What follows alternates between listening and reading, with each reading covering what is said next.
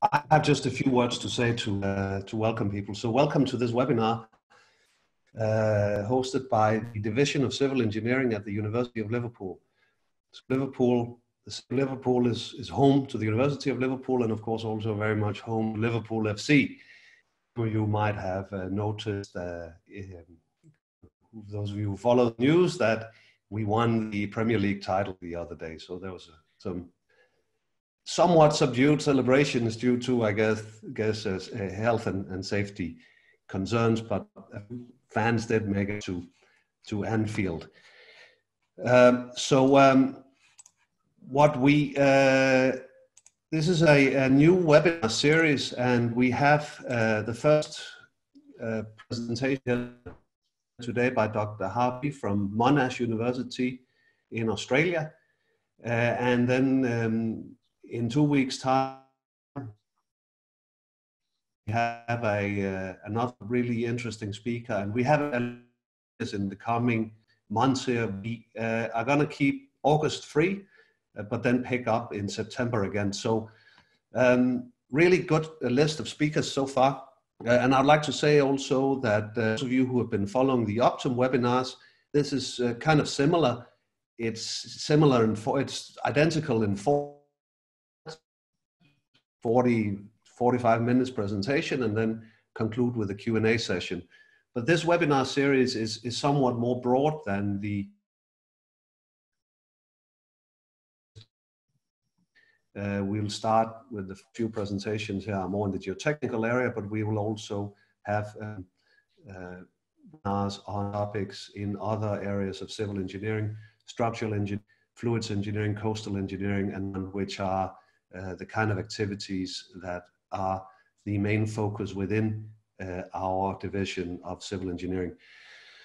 So anyway, the first uh, speaker here today is uh, Dr. Ha- uh, from Monash University, who has a really interesting um, presentation on a, on a very, very interesting topic. So if you share your screen, um, Ha, and then I will uh, uh, yeah, just a few, um, just a few practicalities as well. As I said, we'll conclude with a Q&A session. You will find at the bottom of the screen a Q&A button where you can type in questions and then uh, you can also raise your hand if you want to come online and ask a question to the speaker in person. Uh, so if you raise your hand, I will unmute you and uh, you can ask your question. And the webinar will be recorded and the link will send out to the participants uh, with the recording after the webinar. So over to you, Ha. All right. Um, thank you very much, Christian, and uh, hello, everyone. And thanks for um, uh, attending my presentation.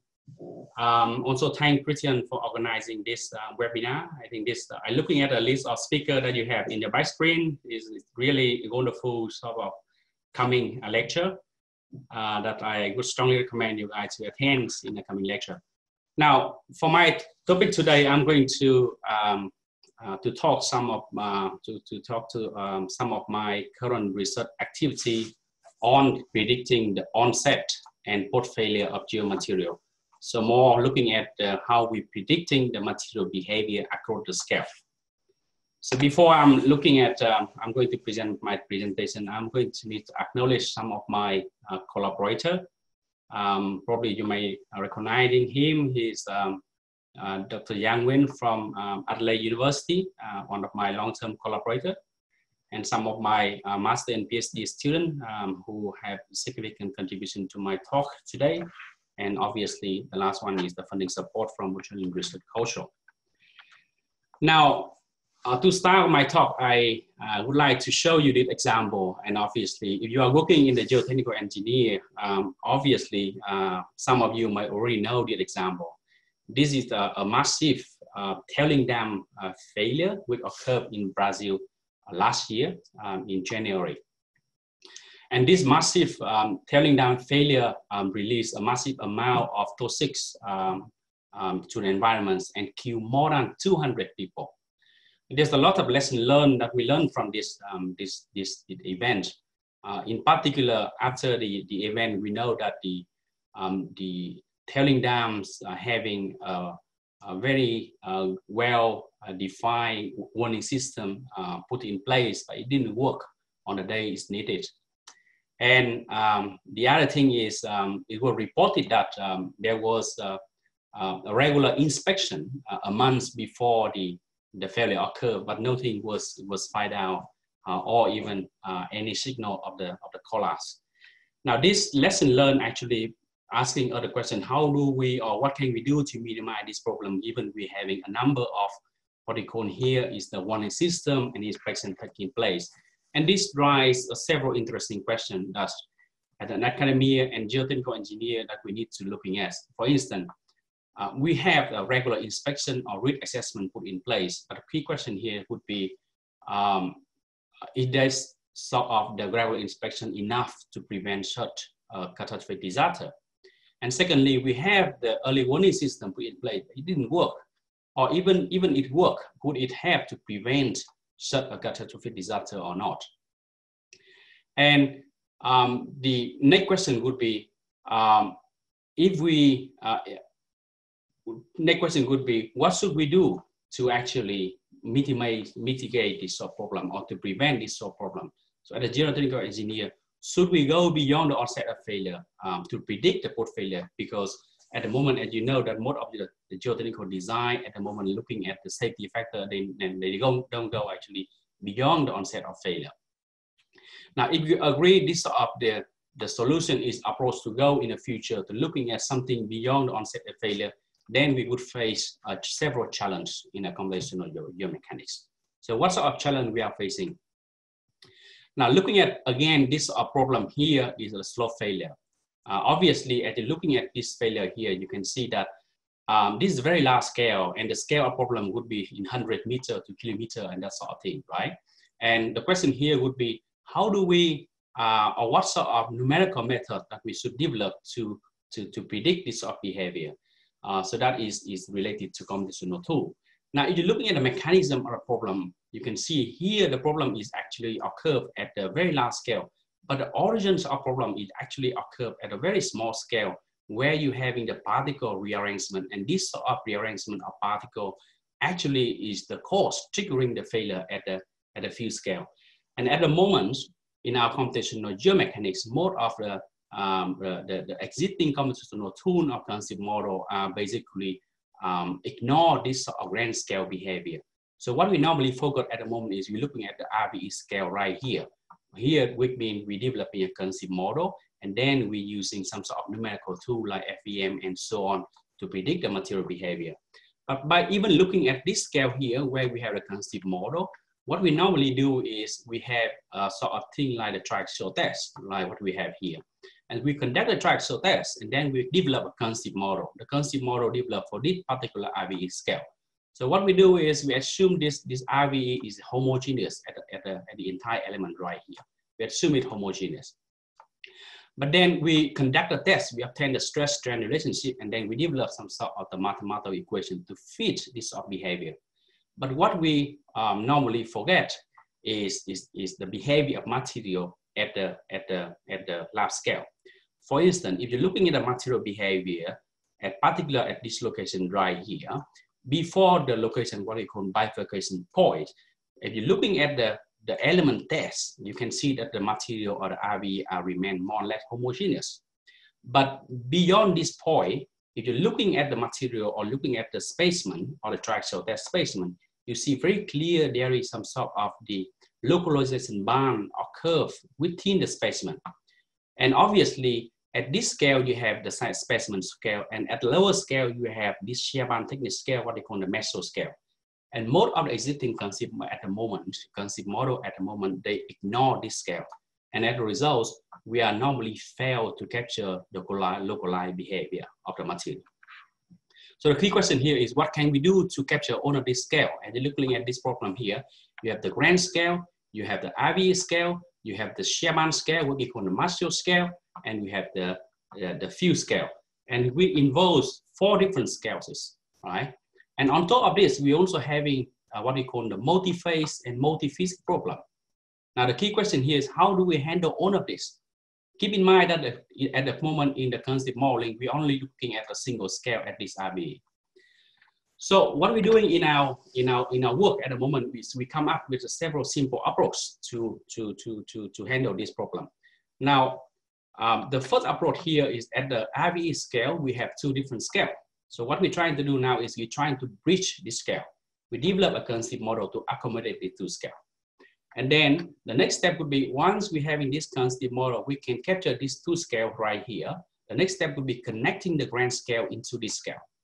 And finally, we develop a computational tool to accommodate the finding from the two scale and go to the few scale application. So this is our current approach. So for today's talk, I'm going to focus mainly on the number three component, which is the developing the advanced computational tool to, to capture this, um, sorry, um, the, the, the, the, the, to, to capture the outcome from um, number one and number two. I'm not going to focus on number two, but I'm going to touch in the base on number one to show you what are we doing at the moment to accommodate the two scale. And this comes to my, um, the content of my talk today. So I'm going to show you uh, very quickly um, in a few scale, uh, the fundamental of which is applicable for few scale problem. What can we do with the, the SPH here, which mean uh, we're telling about the smooth particle hydrodynamics.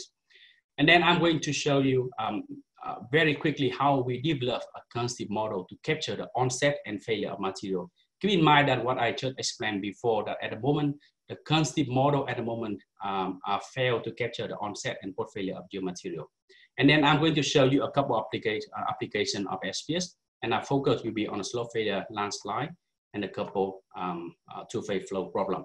And I'm going to finally, I'm going to end my presentation with a couple of the uh, conclusion and outlook. Now let's start with the SPH. So what is the SPH?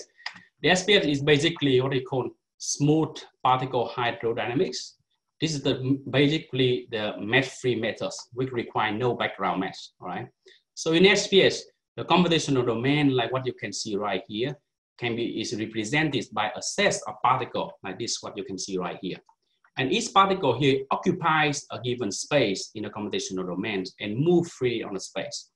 Now, in order to calculate information at a particular location right here, what we're doing in SPH is to using what we call the interpolation process or the weighting average. One of the key advantages of SPH is capability uh, to model extremely large information like what you can see right here. Uh, and the main reason is because they have no background mass.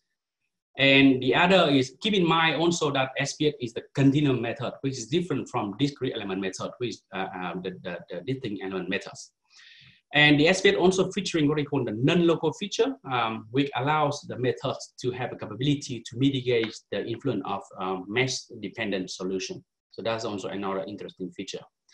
Now I'm going to quickly explain the basic concept of SPH. This is the key SPH formulation which, um, which basically define the entire SPH concept.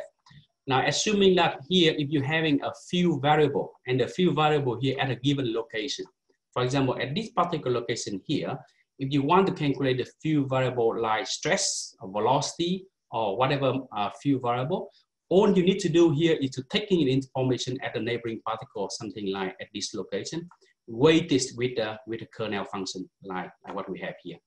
And basically, you can see the few variable at a given location equal to the sum of all information at this particular area here, we could call the supporting domains, multiply with the uh, volume of the particle and weighting uh, with the with the um, uh, the kernel function. And the kernel function must be symmetric and having the bell shape. This is the key formulation of SPH, which from here we can also um, um, uh, optimate, uh, approximate what we call the spatial derivative, which is very important in terms of component to approximate the governing equation. Now, uh, what you can see from here is that the spatial derivative of the function through SPH can be approximated in a very simple way. Um, it's basically, um, you don't need to involve any some sort of spatial derivative of a function, but instead you actually taking derivative of the, of the kernel function. Now this is an interesting feature of SPH because even if you're having a discontinuity function right here, you don't have a, any issue because you don't taking derivative of the function so long as you're having the continuous smoothing function. And this helping the SPH method to be um, um, uh, to be able to uh, handle a lot of uh, problem, all right? Now, this is the two key basically equation that we can see forming the basic of SPH. And if you want to learn SPH, these two equations you need to understand, that's it. And there's nothing else you need to understand. Now, the next question would be, how do we apply the equation? Now, let's, I'm going to show you a very quick or very simple way to, uh, to approximate, uh, to apply this, this SPH equation. Now, looking at the governing equation, uh, for any continuum system, solids, fluid, soil, or whatever system, uh, is always following this what we call governing equation, right? Uh, assuming the isothermal system. Now, the governing equation, uh, the governing equation here consists of the mass, momentum, and the constitutive relation. And obviously, if you want to solve this system equation, you need to discretize or approximate this spatial derivative. Now, through SPH, um, this process is very straightforward. For example, uh, let's say if I'm considering the momentum conservation equation, all I need to do is to approximate this term, right? The spatial derivative of stress. And what I can do from here is I'm going to use the SPH approximation, directly convert this term to here. You can see all the terms are remain the same except this one, right? This spatial derivative. And as you can see right here, the gradient of a spatial derivative of stress tensor now can be converted into the spatial derivative of the kernel function. And this term can be easily approximated in SPH. And as a result, this equation here is the ordinary different equation. We can be solved easily using some sort of standard leapfrog algorithm and so. on. And you can see this very simple math, simple approach, straightforwardly uh, approximate a very complicated equation through the SPH, right? Now, I'm not going to detail of SPH, but what I'm going to show next is I'm going to show you some sort of the capability of SPH.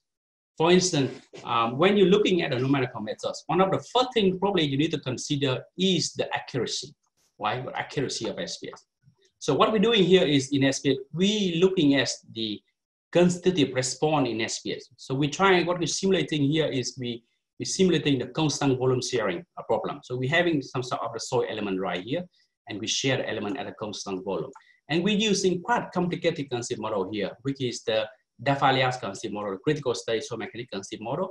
And you see this is the, the concept response, this is the stress path, stress path and stress strain behavior for three different type of soil, dense, medium, dense, and loose. The rest one here is represent the element test, which is the, the uh, kind of the numerical solution. And uh, the solid, uh, the, the, the so, uh, empty dot here represent the SPH solution.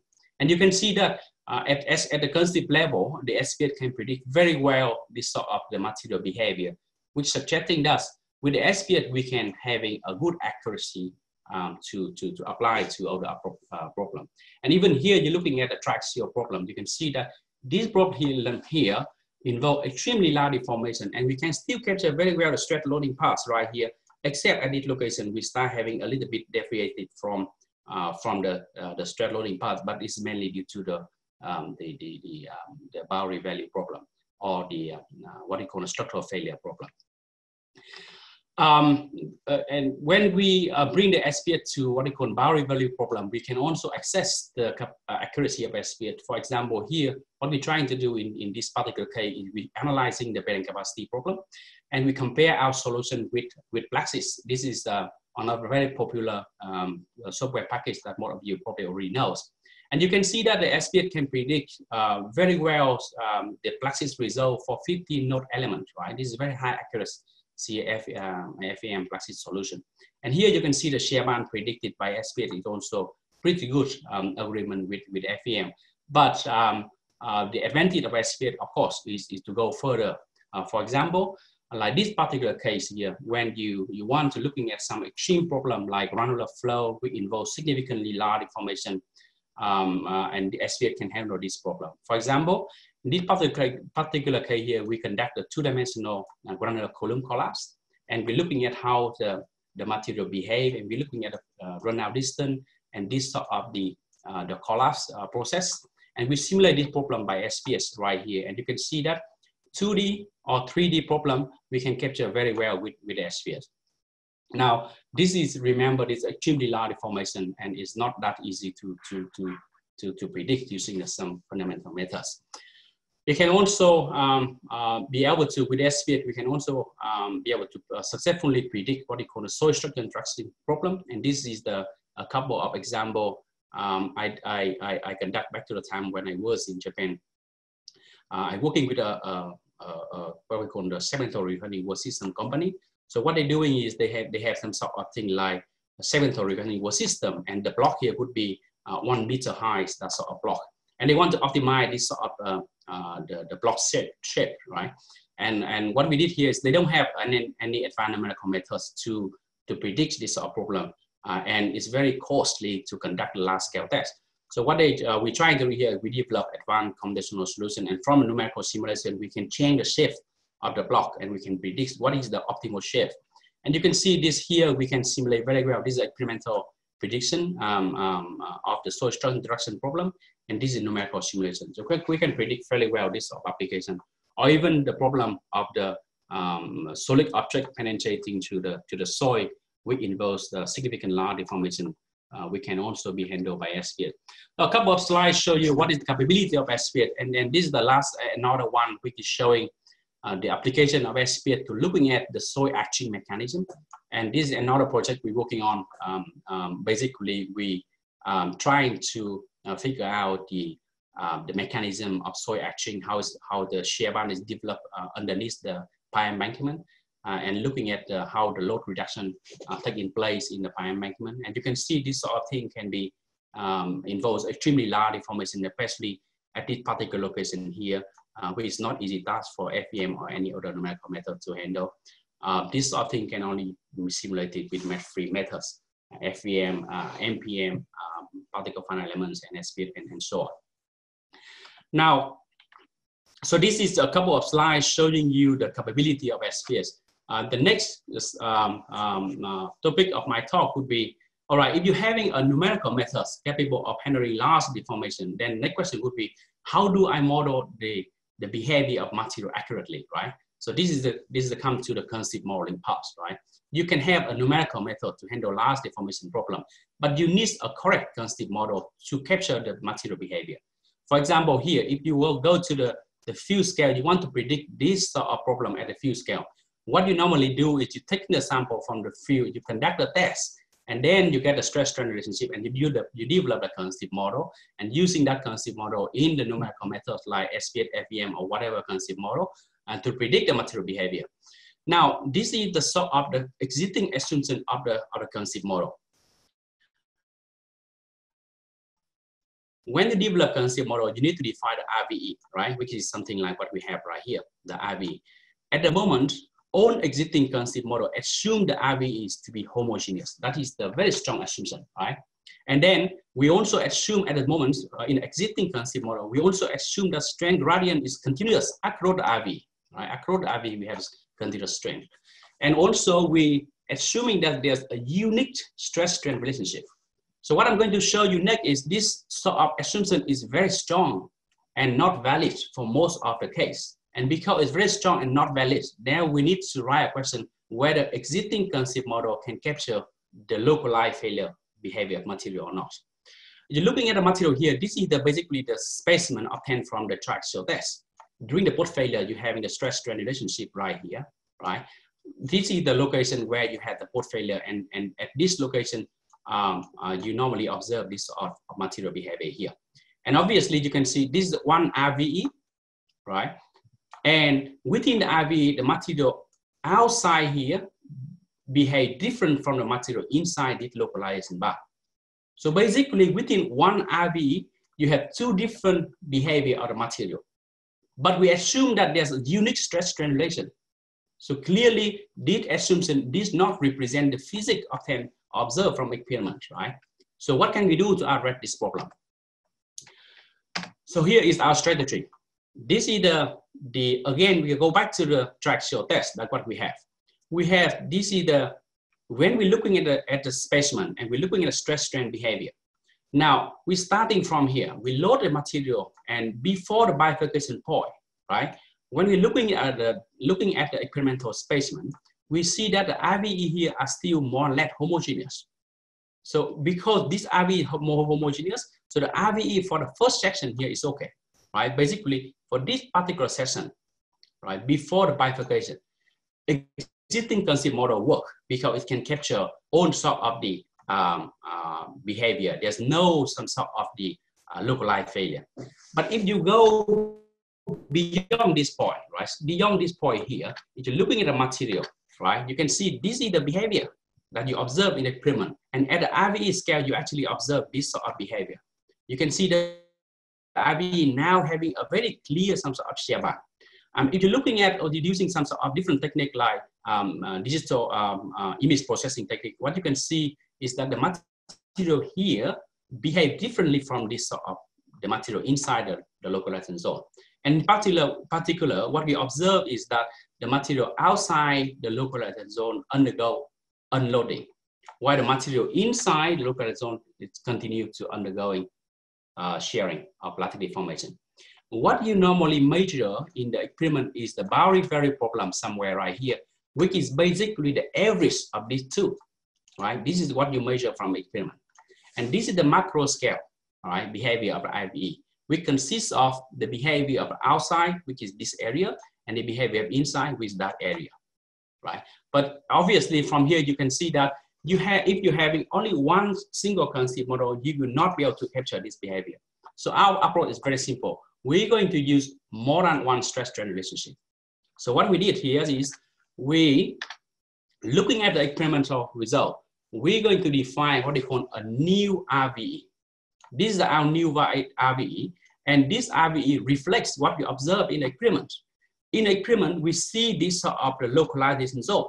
And in our RVE, we have a localization band. And this localization band is featured by the shear band thickness and also the orientation, right?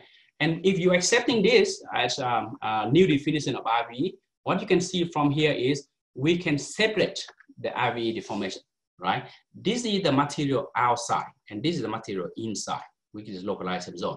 And after we separating the behavior of the inside and outside material, you can see right here that this outside can be now considered homogeneous, while the inside here, you consider also consider a homogeneous. The key question would be, how do we connect them together, all right? Now, this is our approach. When you have the um, new RVE defined like what we have right here, uh, an RVE embedded with a localizing band, obviously the strain profile have to be different. And this is the new some sort of kinematic enrichment we impose for this, for this element right? So we have the strains for the outside material and we have for strain for the inside material. And of course, we define a volume fraction of the localization band with the entire RVE right here.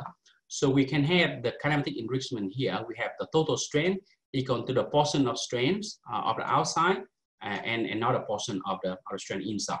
And obviously the strain inside can be calculated using the well-known uh, strain localization theory proposed by Vardoulakis. So how do we connect? The whole idea is, okay, if you have a new RVE, you have the kinematic enrichment for this RVE. Now the next step would be, how do you connect the behavior inside and outside? So what we're doing here is very simple.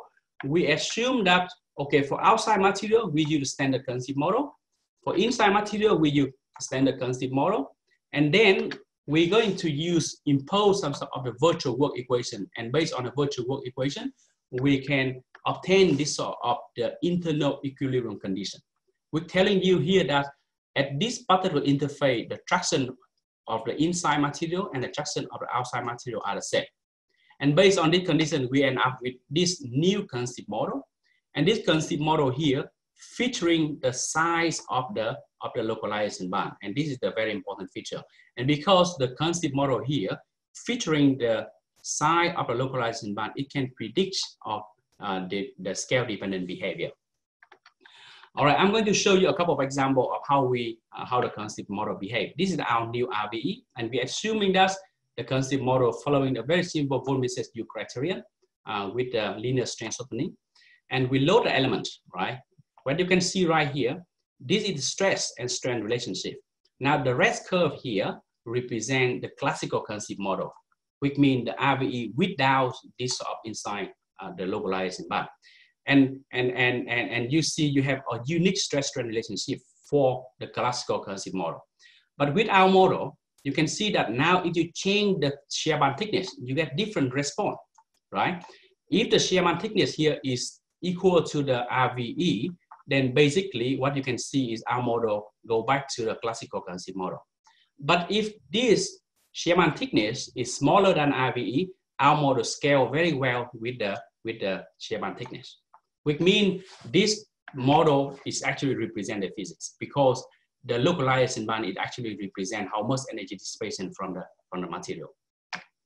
And we're also looking at the material right here. If you're looking at the material outside localization zone, you can see that this is the loading part and this is the unloading part. We get exactly what we are imposed at the beginning. And the material inside is the loading pass, and upon the reaching the bifurcation point, it keep going like, like that. So what is the benefits?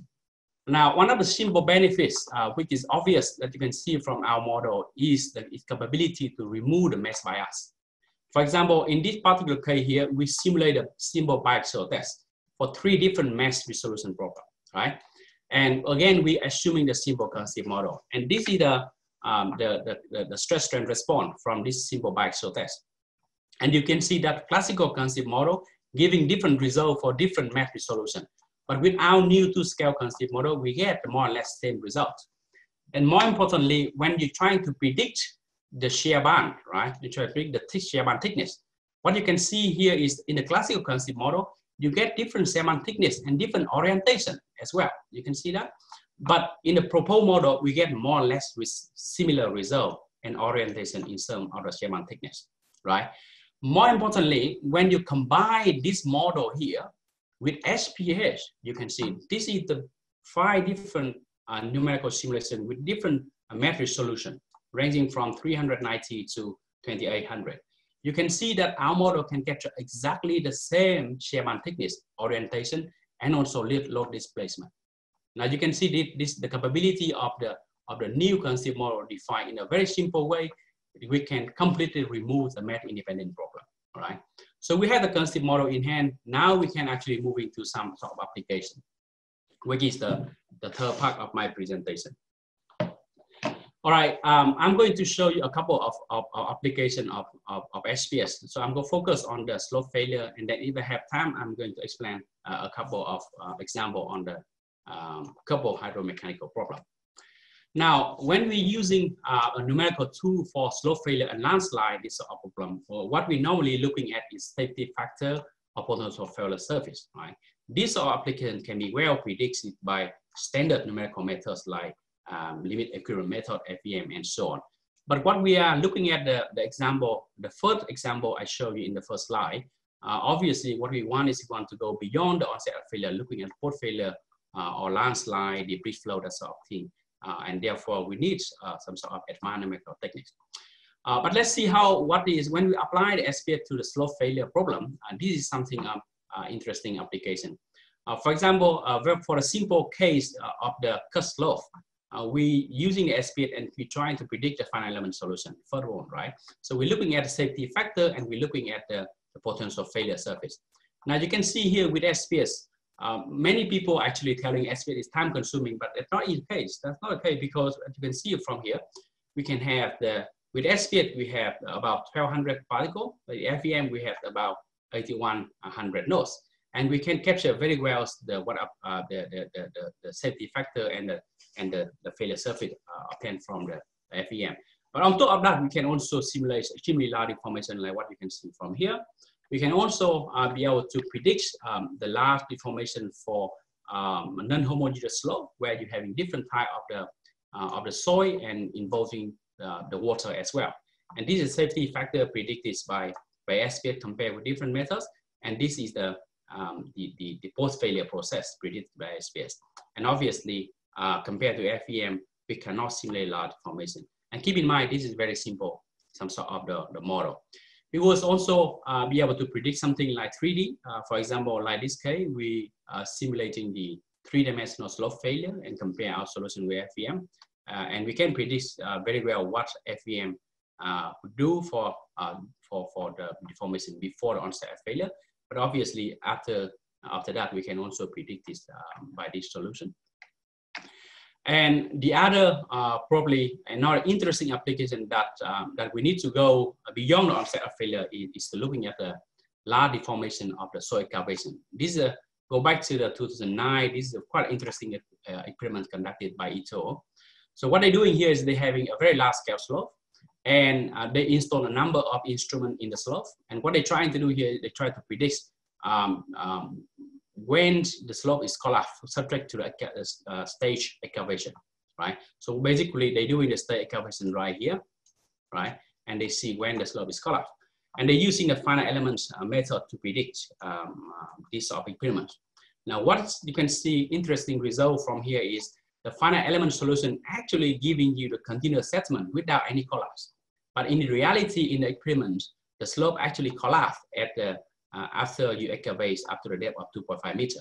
So we're using the SPH and, and, and we could capture very well the location when, when the, um, the slope was collapsed. So this is the, another interesting feature which uh, basically uh, suggesting that we should go beyond the onset failure rather than keeping at, at, a, at a before onset failure. And the other uh, application in this, in this area is looking at extremely large deformation related to landslide debris flow. And this is another interesting application of SPH.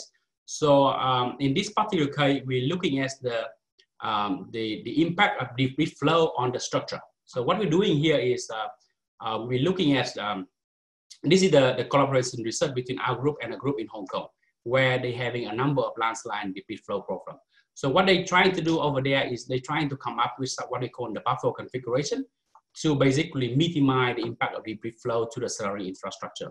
And, and because they don't have in some sort of the advanced numerical method, so they have to conduct a very large scale experiment up to um, a, a 10, 20 meter heights and, and that sort of thing. They're even thinking to go up to um, 20, 30 meter heights. So th this is the um, um, interesting uh, application because at the moment there is no some sort of design guideline to design the buffer, right? So how you design the buffer here is not clear at all. So for example, should you design the buffer something like that or, or, or, or different sort of configuration? So we're trying to do here is we're trying to using a numerical method to optimize um, the location of the buffer.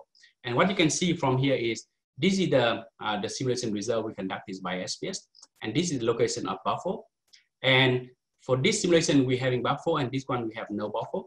Uh, and you can see that um, the how effective buffer are due to basically retain the flow. Um, uh, presumably, if you're having some sort of the, the structure right here, then you can basically reduce the speed of the of the debris flow before they impacting the, the, the infrastructure. Now, for this particular case, um, uh, with the numerical simulation, we can actually have to looking at the mechanism of the debris flows, right? For example, we can looking at how the, the flow passing through the, um, the, the buffer, or we can looking at how the force acting on a buffer. For example, here we're having three different layers of, of the buffer, and we can access what is the maximum force acting on each of the, of the layer, that sort of thing. We can also looking at something other interesting application, for example, what sort of the, um, the, the, barrier system uh, are, are, most effective? For example, here we're looking at three different systems. We're looking at the buffer, uh, short buffer, we're looking at the high buffer, and we're looking at the dam here over here, what we call the check dam system. And we compare the performance of the of different, different system. And interestingly here, you can see that for the short buffer, the peak force is actually right at a location when the debris flow impacting um, the, the buffer. But for the tall buffer, like what you can see right here, the peak force actually um, occur after the, um, the flow impacting the buffer, which suggesting that there's significant some sort of flow retention uh, in this sort of system. And then we're also looking at um, uh, this method also helping us to looking at the energy aspects of the, of the design. Um, for example, we can, we, can, um, uh, we can measure the total energy dissipation and kinematic energy and also potential energy. Now, this of, of analysis show a very interesting sort of finding. Um, for instance, when we design some sort of the barrier system, we're normally looking at the total energy dissipation. But this is not the case because if you're looking at the total energy dissipation here, this line is corresponding to the flow without any buffer. I mean the free flow. So you can see that without buffer, you're getting basically the highest sort of the energy dissipation. But so long as you're having some sort of buffer, buffer system here, you have less energy dissipation. But that doesn't mean it's good because uh, you're looking at here for the kinematic energy, like what you can see right here. Without buffer, you have a significant kinematic energy. But with the with the with buffer, you're having a very low kinematic energy, that sort of thing that you can see right here. And, and this sort of, of, of, of, of methods actually helping us to looking at how, or, how sort of the configuration could help us to, to basically design uh, this sort of system, right? And then uh, this is another example which show you uh, basically the capability of our code to predict uh, the landslide. And in particular case here, we try to back analyze the debris flows um, uh, of the Mount Highland in Washington. So basically, this is the, the landslide problem occurred in back to 1980, uh, which was caused due to the earthquake, uh, triggering a large volume of debris flows, kill a lot of people. And we don't have a lot of data, but we can actually having some sort of the initial configuration and the current configuration of slope, and we can basically back analyze and uh, this sort of problem. And here we having um, the dimension up to uh, 100 kilometer, that sort of thing. This, this was achieved recently using our very high uh, advanced computational code. All right, so that is a couple of SPH application for the uh, for the uh, for the slope failure. I'm going to have a um, few more minutes. I'm going to show you very quick uh, some of our current application of SPH for a couple of problems. So when you're looking at a couple of problems here, you're normally um, interested in uh, how you're actually predicting the internal erosion process or how you're actually looking at the flow inside and outside porous media and, and also the overtopping flow, that sort of thing. And this is actually one of our uh, latest uh, discovery project looking at the internal erosion. So within the SPH, we're having uh, several different model um, to model the flow through the porous media. Uh, we can have the single layer uh, or we can have the multiple layer. And within a single layer, we can model even dry, saturated, and unsaturated uh, material. So the basic concept here is for single layer, um, which means we have single particle carrying information of dry soil. Or for saturated soil, in a single layer, we have the single particle carry out information of two phases. Or for the three phases, here we have single layer, single particle carry out information of three phases. Or for multiple layer, what we're doing here is we simulate different phases with different set of particle. For example, with two phases, we do two different set of particle to simulate um, water and soil. For three phases, we do three different set of particle, that's our thing. So I'm going to quickly show you this sort of the, the result here for two-phase system.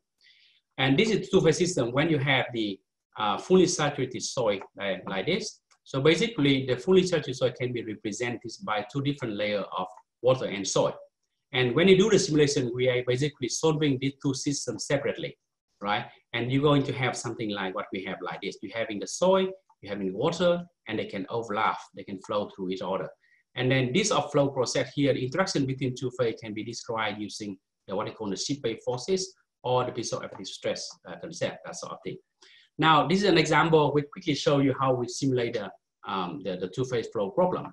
This is an example conducted by laser in 2013 for the seepage flow through the rockfill dam. And we have own material property here. We have different flow rate uh, imposed uh, at this location, um, uh, passing through the rockfill dam. And this is the, uh, the SPH simulation result. And you can see right here, this is the, the, the experimental measurement of the pore water pressure at this particular location right here, right? And the red line here represent our numerical solution. And you can see that we can predict very well this op system. And you can see from here, this is the solid layer and this is the water layer. They actually um, overlapping each other. And we can even go beyond this to predict large deformation of this particular case, where you have the seepage flow through the embankment, causing the internal erosion somewhere right here and causing the collapse. And this is the failure process that we were able to simulate it. Um, and this is the experimental result, and this is the failure surface predicted by our numerical model. And obviously for FEM, you are stopping here because you cannot model large deformation, right? And however, what happened here is because we are using two-phase problem, we actually fail to capture this thing, right? There's some sort of the internal erosion process or some sort of deconductivity failure surface were unable to capture this sort behavior. So to capture this problem, we need, we need to go further to three-phase system looking at unsaturated soil. And obviously for this particular case, we need to solve the multi-phase equation involving the soil, water, air, uh, and so on. And these are a, a couple of examples of the single phase SPH. So basically one SPH particle carry the information of three phase air, water, solids. This is an example of the unsaturated seepage flow through one-dimensional soil column, comparison between the theoretical and SPH solution. And this is an example of the SPH um, solution for, un again, unsaturated seepage flow uh, through the, um, the earth fill dam you can see right here. And in this particular case, we actually using a very complex math, what we call a Voronoi system to perform the SPH simulation. And this is the solution predicted by SPH and other, other solution. We have been also successfully using this of the single layer system to predict the experiment. Back to the 2004, the experiment were conducted by Xiong. They're using a very simple slope and they supply the water from here or from there. And then they measure the water pressure at a couple locations. And this is the comparison between experiment and the simulation. Um, we capture very well some sort of the seepage flow before the failure, but this location here we cannot capture because we didn't consider the deformation of the soil. And finally, um, we're also using the model to predict extremely large deformation of slopes. So basically, we're having here uh, the experimental uh, test uh, for a shallow slope failure conducted by Circle in 2011. So what they're doing here, they're having the shallow slope, and then they subtract the slope to rainfall right here. And then um, what they're doing here is they, they're looking at how the slope failure. So they're actually using 3D scanner to capture this sort of the morphology. So we're doing exactly the same sort of setup and we supply the water flow from here. And you can see this is how the water flow accumulates through the, the slope. And this is the, the failure surface. This is the sort of the uh, 3D uh, uh, laser scanner capturing the, the, the failure morphology uh, from the experiment. And this is our SPH solution. So when we, uh, we, we, we supply the water from here based on the rainfall plus, uh, we get the reduction instruction and, and at the end it causing the slope failure like what you can see from here. So this again telling you that uh, the SPH methods in combination with the, with the advanced model can capture a very complex problem involves the multi-phase, multi-visit. And this our problem now can be, can be used to solve the, uh, the issue that, that, that I, I, I presented in the, in the first slide. So with this, I, uh, I would like to, uh, ah, I have another one with the last application here, which is probably another interesting application that you might want to looking at. This is the experimental test of soil desiccation in dew cracking. So basically you have a rectangular soil column or we have this, um, the uh, circular dish that's sort of the soil layer. So what we're doing here is we, is we subtract the, uh, we dry the soil specimen, right? Let the moisture to evaporate from here and then we're looking at how the crack develop in the soil. And along this direction, we have a change in the thickness, right? Increase in the thickness. And also from here to there. And this is the simulation. You can see that very complex failure surface can be predicted by SPH. Right? When you increase the thickness, you get um, the density of crack actually reduced. We, kept, we can qualitatively capture this mechanism, but of course, it's very difficult to capture exactly what happened here because the soil is, is highly non-homogeneous in nature. So with this, I would like to end my presentation uh, and I have a couple of key conclusions. Um, the first conclusion is it related to current state model. It's very important to having a suitable current state model to capture the onset and failure. And in our view, most of the existing current state model fail to capture this behavior because they did not uh, consider the localization zone. And for large-scale application, we need a robust numerical method. And obviously, SPH is not the only one. We have a number of different mesh-free methods, uh, but different methods having their own advantage and disadvantage. And finally, uh, at Monash, we're currently having a high, very high performance computing course, which uh, are available for scale application. So if you're interested uh, in this of, of, of um, application, let us know. And thank you very much.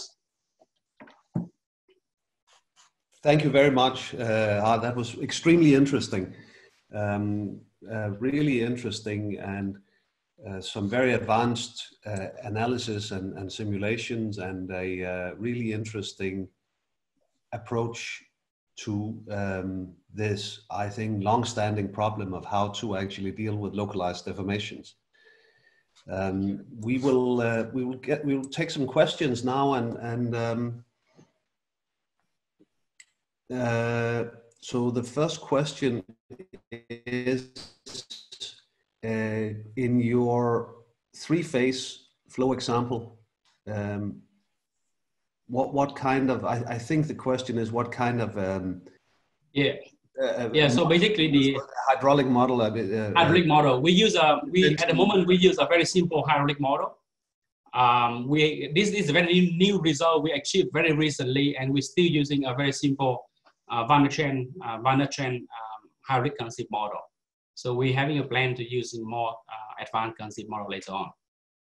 Yeah.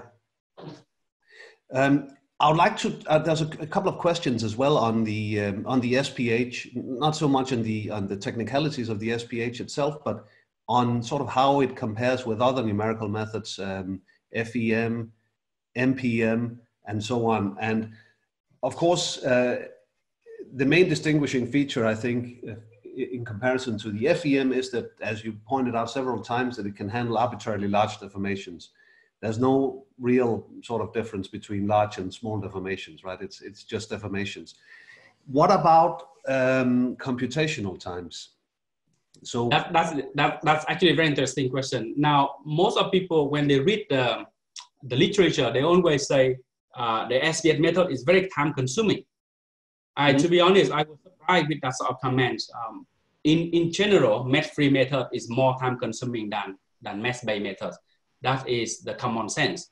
But when we're trying to simulate the, um, when we're doing the some application, for example, um, I, let, let me go back to, um, to a couple of the, um, the slide I showed earlier. Um, um, um this is an example of, of, of, of probably um, a fair comparison between the SPH and FEM. As you can see, for this particular case here, uh, we could get a very good solution compared to FEM with just 1200 particles. And this simulation right here, uh, we conducted probably within, within a couple of seconds or uh, uh, less than a minute to get this of, of, of solution. So the SPH yeah, with the SPH. Less than a minute to get this solution with 100, uh, 100 particles. Yeah, yeah. Okay. So uh, in common sense, I agree that the mesh-free methods is more um, uh, time consuming than mesh-based methods uh, for some particular application, but not all the case. Right? Sure. And, and um, how about the um, time integration, uh, implicit, explicit, uh, the possibilities for parallelization. Uh, how about steady state solutions? Uh, you want to com uh, compute steady state solutions? This is the steady state solution. Now, um, the quality steady state for the flow, right? For the seepage flow, you mean? Uh, well, I meant just uh, sort of uh, not steady state, sorry, quasi-static. So if you want to do ah, it, that's, that's a very good question. Now, at the moment, we don't have the quasi-static SPH solution, and that is the probably perhaps the most. You are pointing to the right um, right point. The most time-consuming factor of SPH is the explicit solution, where you require a very small time step to yeah. to, to to ensure the numerical stability. So that's a different. So, so is, is that the in is the time uh, stepping? Is it explicit or implicit, or it can be? Is there's choice? Or? It's implicit. It's explicit. It needs to certainly uh, satisfy some certain condition. Yes. Sure. So there's the possibility of parallelizing it. Is is that right? Or yeah, that we only uh, at the moment we have fully parallel computing SPH code at the moment. Okay. Okay. Based on the explicit uh, framework. Okay, and and you showed some 3D problems as well at the end there with the barriers, with the um, the baffles yeah. and the, dams there. Uh, any any uh, challenges there in going from 2D to 3D, uh, or is it just um, it just follows naturally? Or I mean, there yeah, could be longer times, of course, but longer computational mm-hmm. times. Yeah, the good thing of SPH is the the concept is very simple um, you can go easily from 2D to 3D. Uh, basically, just extend one more dimension. So yeah. um, we don't having any trouble in extending from 2D to 3D. Uh, and to be honest, even a master student could do that, that job. Uh, but obviously, parallel computing is different story. But actually, in fact, this solution I obtained here was, was obtained by one of my current master students. So he's doing the fully parallel SPH code. Uh-huh, so you uh-huh. can and how how long? I mean, know this is not a maybe a very fair question, but very fair question. This is simulation is sort of uh, takes about three seconds or so. No, uh, no, this one is not. This yeah, one, no, no. You have a you have a you have a time. You, it says two point five five one seconds here. So that's the real time. How how long does it actually take to compute a three D solution like that? for this one, uh, for this particular case, we simulate up to uh, several millions particle, and we're using a very high performance the NCI, the National Computing System uh, in, in, in Canberra. Yeah. And this one, this, this, this the entire simulation process here take uh, um, around one and a half hour uh, in, the, in, in the fully parallel uh, computing system. okay. And how many how many cores is that with? we're using, for this particular case, uh, we're using um, around 500 cores. Okay, okay, okay. Yeah. Okay, uh, um, really interesting. Let's let's see. Let's have a look at some other questions. Um, there, was, there was a question on the basic difference between SPH and MPM. This this is the, the very basic question. Is basically uh, S, a simple answer is the SPH have no background mesh, and the FEM, the MPM require the background mesh, and on top of that, they have the material point. So what they're doing in the MPM is they're solving the equivalent equation on a background mesh, and then they convert to the material point, moving material point, reset the mask, and put it back. But in SPH, we don't have that problem. We, we, we solve everything on a particle. So that is the key, key difference. Yeah. And then you mentioned the kernel function. You, but you didn't yeah. talk about that in detail. Um, is that something that's sorted out completely, or any? Yeah, this one is um, we don't use we don't have to change the kernel function. Um, we're having a couple of very stable kernel function that we can use at the moment, and and um, it, doesn't actually influence a lot in terms of numerical solution. Okay. Uh, liquefaction uh, is that something you have given any thought to or, or and solved uh, sort of? Yes, I have. Very good. Um, I have actually a PhD student working at the moment on liquefaction, and and that's probably why you're seeing this. Uh, so we are we are doing at the moment. Do you see this one here? And uh, this one. So this is the this is the one we are doing at the moment. So we are we has been uh, implement this sort of the critical state circumstance model capable of capturing the fully liquefaction behavior in SPH, and we're having a group actually currently working in this, this particular case at the moment.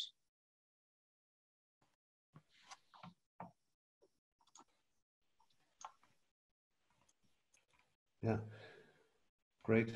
Um, um, there is a uh, There is a ah, question. Ma Manolo. Thank you. So this is another pioneers we have. Um, uh, it's, it's great pleasure to see uh, Manolo actually here, uh, one of the pioneer um, uh, SPH developer, and he's expert in the uh, SPH modeling of the flow as well. Uh, liquefaction Yes, we are doing at the moment, moment Manolo, and I hope to show you in October. um,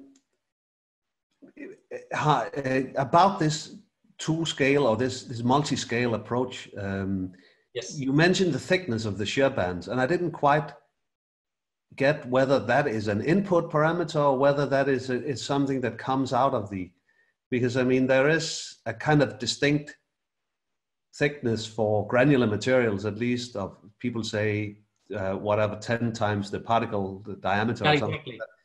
that exactly. That is the input parameter. So long as we can, for a particular material, we having we, this is the input parameter that we need to input.